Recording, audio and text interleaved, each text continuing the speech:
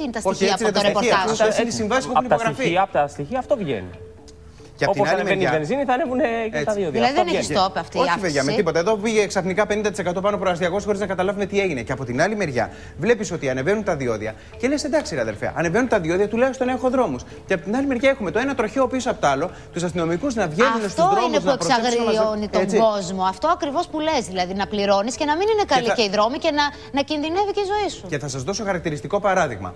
Όταν η μαραθώνος ήταν χάλια, υπήρχαν δεκάδες τροχαία. Δεκάδες τροχαία. Δεν μπορούσε να κάνει τίποτα η τροχαία της Αγίας Παρασκευής, δεν μπορούσε να κάνει τίποτα η αστυνομία. Δεν μπορούσε να, να, να, εισ- να, να βοηθήσει τους οδηγού. τι άλλαξε που τώρα; οδηγούσαν σε έναν δρόμο άθλιο. Φτιάχτηκε ο δρόμος, μπόρεσε και η τροχαία να κάνει σωστά τη δουλειά της και μειώθηκαν, παιδιά. Ακούτε, είναι πολύ σοβαρό. Μειώθηκαν τα τροχαία δυστυχήματα, δυστυχήματα με νεκρούς δηλαδή, κατά 42%. Μείωση 42% Αυτό σε είναι έναν δρόμο ό,τι Καρμανιόλα. πιο σημαντικό. Υπάρχει πάντα η κακιά στιγμή, αλλά ό,τι μπορούμε, ό,τι μπορούμε να προστατέψουμε, οφείλουμε να το κάνουμε. Πάμε να δούμε το ρεπορτάζ.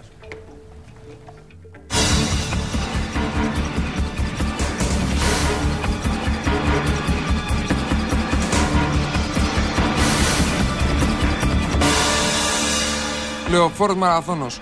Ένας δρόμος που αναμορφώθηκε την περίοδο των Ολυμπιακών Αγώνων μετατράπηκε, όπως λένε οι πολίτες που τον διασχίζουν καθημερινά με τα αυτοκίνητά τους, σε δρόμο με υψηλό ποσοστό επικινδυνότητας. Η μαραθώνας ανέκαθεν ήταν καρμανιόλα.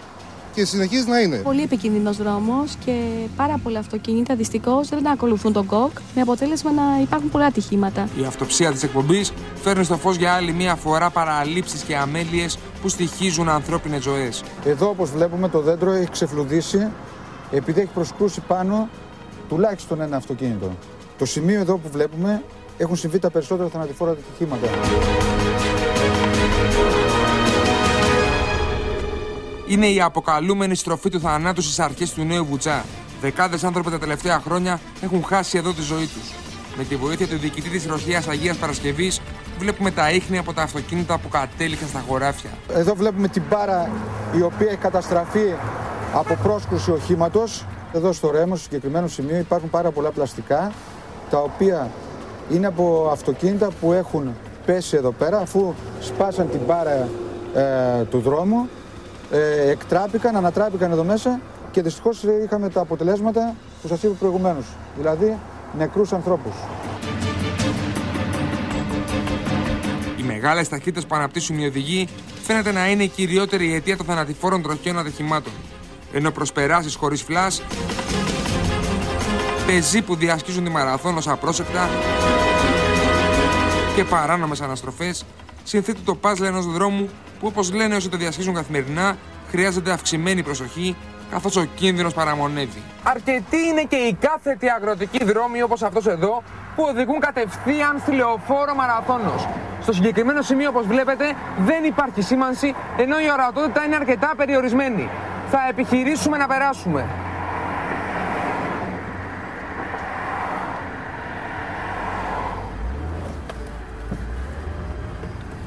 Και τα προβλήματα δεν σταματούν εδώ. Αρκετά είναι και τα σημεία στη λεωφόρο Μαραθώνος όπως αυτό εδώ που οι δύο λωρίδες κυκλοφορίας μετατρέπονται απότομα σε μία εξαιτία των παρκαρισμένων αυτοκινήτων. παρκάνουν και τα αυτοκίνητα δεξιά, γίνεται και η τροφοδοσία των καταστημάτων και με αποτέλεσμα μονοδρομείται, περνάνε λεωφορεία και υπάρχει το, το φοβερό το πρόβλημα. Οι μαρτυρίες εκείνων που έχασαν τους δικούς τους ανθρώπους στη λεωφόρο Μαραθώνο συγκλονίζουν.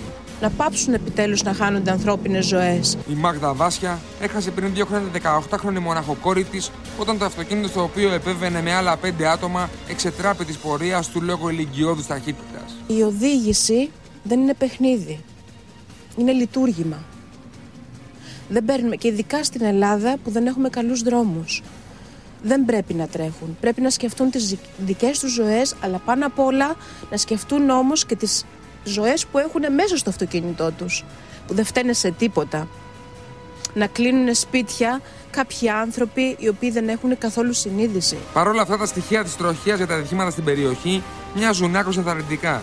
Το 2009 έχασαν τη ζωή τους 24 άνθρωποι, ενώ το 2010 μόλις 7. Ακόμα το 2009 51 συνάνθρωποι μας τραυματίστηκαν σοβαρά, έναντι μόλις 21 το 2010. Εδώ βρίσκεται ένα από τα ραντάρ που έχουν τοποθετηθεί, τα σταθερά ραντάρ, τα οποία ε, καταγράφουν, καταμετρούν ταχύτητα, στέλνουν τα δεδομένα στην τροχέα, βεβαιώνονται παραβάσεις και αποστέλλονται στου ε, οδηγούς που έχουν παραβιάσει το όριο ταχύτητας. Και μπορεί οι προσπάθειε των ανδρών της τροχέας και η τοποθέτηση των ραντάρ ελέγχου ταχύτητας να απέδωσαν καρπούς. Τα στοιχεία όμως από τις παραβάσεις που καταγράφονται είναι άκρος εντυπωσιακά. Το συγκεκριμένο ραντάρ την πρώτη μέρα που λειτουργήσε, επειδή θέλαμε να δοκιμάσουμε να δούμε πόσο, πόσο είναι οι ταχύτητε εδώ στο συγκεκριμένο σημείο, το βάλαμε να καταγράφει την ταχύτητα πάνω από τα 140 χιλιόμετρα. Την πρώτη μέρα λειτουργίας του λοιπόν κατέγραψε 700 παραβάσεις. 700 παραβάσεις. Με πάνω από 140 χιλιόμετρα ταχύτητες. Καταλαβαίνετε λοιπόν τι συνέβαινε στη Μαραθώνος. Όπως βλέπετε έχουν περιοριστεί πάρα πολύ οι ταχύτητες. Το βλέπετε και μόνοι σας εδώ πέρα. Μάλιστα. Για να το δούμε αναλυτικά το συγκεκριμένο θέμα. Λοιπόν, έχουμε κοντά μας την κυρία Βασιλική Δανέλη Μιλονά. Καλή σας μέρα. Καλημέρα. Έχουμε το διοικητή της τροχέα Αγίας Παρασκευής, τον κύριο Αθανάσιο Παπα-Κωνσταντίνου. Καλημέρα. Καλημέρα Λοιπόν, σας. και έχουμε και τον αγαπημένο μας Πέτρο Καρσιώτη. Πέτρο, καλημέρα. Καλημέρα. Πολύ μεγάλη χαρά που είσαι κοντά. Λοιπόν, να ξεκινήσω από την κυρία Βασιλική Δανέλη. Κυρία Βασιλική, είναι πολύ μεγάλο το έργο που έχετε κάνει. Είχατε ένα φοβερά άσχημο περιστατικό. Χάσατε το γιο σας σε ένα τροχαίο στην Κορίνθου Πατρών, αν δεν κάνω λάθος. Σε ένα δρόμο που τα διόδια αυξάνονται συνεχώς, σε ένα δρόμο που έχει μαρτυρήσει κόσμος για να φτάσει στις δουλειές του, σε ένα δρόμο παρά το γεγονός ότι αυξάνονται τα διόδια δεν έχει φτιαχτεί ακόμα. Θέλω να μου πείτε το δικό σας συνέστημα ποιο είναι όταν βλέπετε να αυξάνουν τα διόδια, να γίνονται 1002 και ο δρόμος όπου χάσατε και το δικό σας άνθρωπο να μην έχει φτιαχτεί ακόμα. Ε, κύριε Λάμπρου, θα σας μιλήσω ειλικρινά. Όπως γνωρίζετε, το Ινστιτούτο κάνει ένα τεράστιο αγώνα να σώσει ζωές. Αυτός ο δρόμος, ο δρόμος Καρμανιόλα, συμπεριλαμβάνεται στους πιο επικίνδυνους δρόμους στην Ευρώπη. Υπάρχει μια έκθεση της Eurostat όπου 13 από τις 20 πιο επικίνδυνες περιοχές στην Ευρώπη βρίσκονται στην Ελλάδα. Και η πρώτη ε, σε τροχαία θανατηφόρα συμβάντα είναι αυτός ο δρόμος. Για μένα δεν έχει σημασία αν ο γιος μου πλήρωνε 1,80 που πλήρωσε διόδια ε, λίγη ώρα πριν του σκοτωθεί ή αν θα πλήρωνε 2,40. Σημασία έχει να ζούσε και σημασία έχει να κάνουμε τους δρόμους ασφαλείς και γρήγορα. Γιατί όσο καθυστερεί αυτό το έργο να υλοποιηθεί, τόσο πιο μεγάλη είναι η κίνδυνη. Ε, και εγώ ζήτησα από τους ανθρώπους της Ολυμπίας Οδού ε, και μου κάνανε ένα οδηπορικό, ήταν πέρυσι πριν τα Χριστούγεννα, για να δούμε πώς έχει προχωρήσει αυτό το έργο. Είδα ότι έχουν κατασκευαστεί οι σύραγγες, υπήρχε μια ελπίδα ότι το έργο θα έχει προχωρήσει γρηγορότερα, αλλά από ό,τι έμαθα υπάρχουν πολλά προβλήματα, άλλοτε με τις απαλωτριώσεις, άλλοτε με, τις, με την αρχαιολογία, με τη δυσκινησία του κράτους. Και αυτός ο δρόμος καθυστερεί.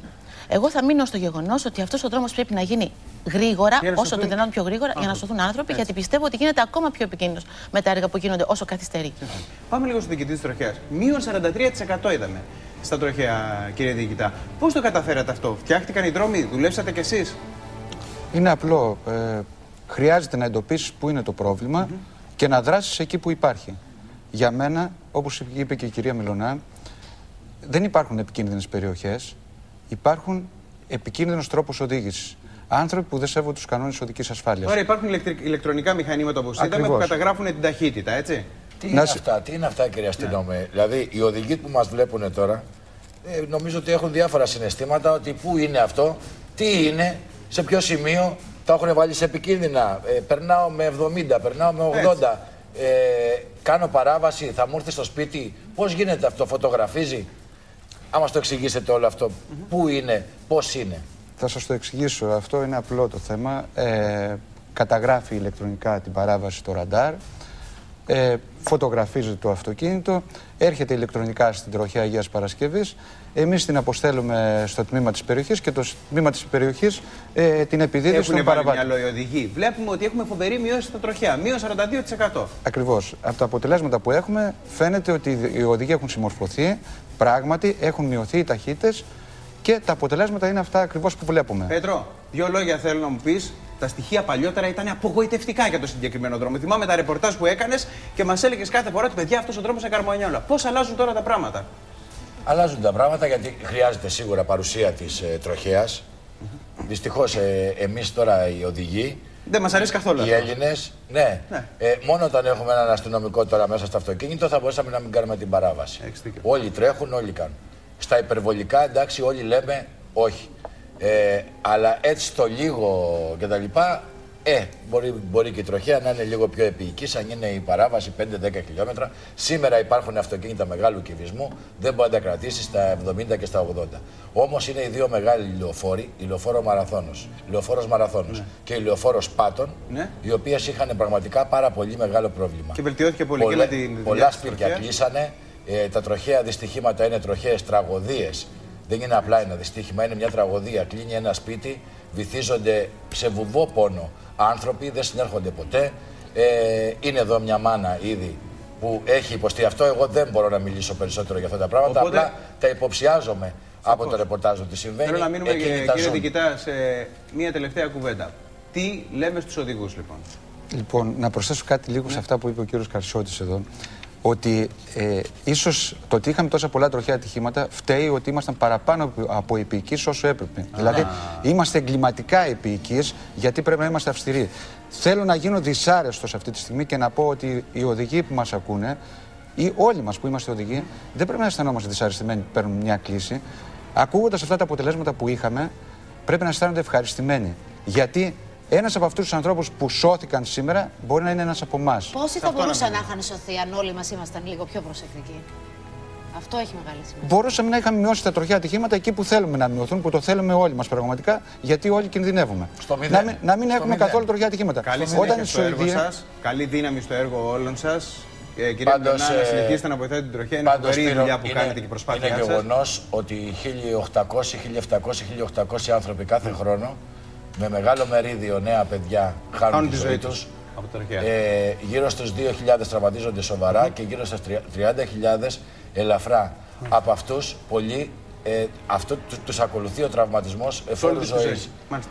Ε, Ευχαριστούμε να πάρα ευχηθούμε πολύ. καλή δύναμη Θα σε ήθελα όλο να το προσωπικό προσθέσω. της τροχέας Αγίας Παρασκευής και στο διοικητή τους. Και να συνεχίσουν αυτή την Γιατί προσπάθεια. έχουν και άλλα πολλά. Και δύο Και λόγια για να μετά, αλλάξουμε για και να- λίγο ναι. κλίμα μετά, δεν χρειάζεται να βιάζεστε. Δεν πειράζει. Έτσι, σιγά, Καλύτερα σιγά. αργά. Και- Εγώ θα ήθελα να προσθέσω, πείτε το, για να ε, κλείσουμε. γιατί στο Ινστιτούτο παρακολουθούμε τις καλύτερες πρακτικές που έχουν αποδώσει στην Ευρώπη και είναι πράγματα η ενημέρωση και η εκπαίδευση σε συνδυασμό με την ε, αστυνόμευση πραγματικά μπορούν να μειώσουν ε, τα τροχαία συμβάντα και να σώσουν ζωές. Μάλιστα. Να είστε καλά. Λοιπόν, πάμε σε ένα διαλυματάκι δύο λεπτάκια. Θα γυρίσουμε μετά να τα πούμε όλα.